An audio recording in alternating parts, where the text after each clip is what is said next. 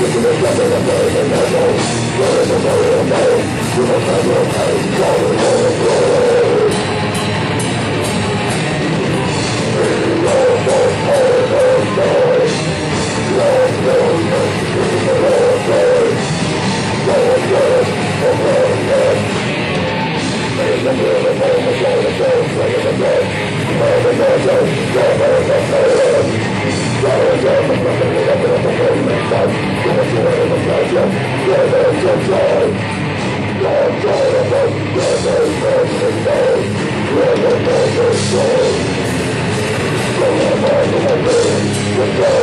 Oh, my God.